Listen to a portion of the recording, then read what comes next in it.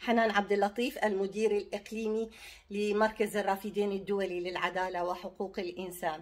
نعلن عن تضامننا مع المعارضة الإيرانية ومنظمة مجاهدي خلق في نضالهم المشروع ضد النظام الملالي الإرهابي في إيران والمنطقة والذي أصبح يشكل تهديدا خطيرا على الشعوب الإيرانية وشعوب المنطقة خاصة بعد وصول أحد أعضاء لجنة الموت والإعدامات إلى سدة الحكم والرئاسة في إيران إبراهيم رئيسي.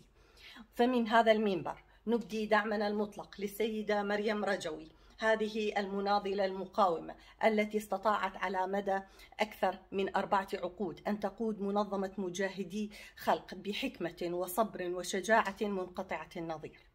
وتزامنا مع انعقاد المؤتمر السنوي للمعارضة الإيرانية نحييها ونشد على أياديها وأيدي إخوتها المقاومين والمقاومات في مجاهدي خلق. وندعو لكم بالنصر المبين على نظام الملالي اللعين آه، في إيران وأن يعود الأمن والسلام والاستقرار والازدهار للشعوب الإيرانية ولشعوب المنطقة.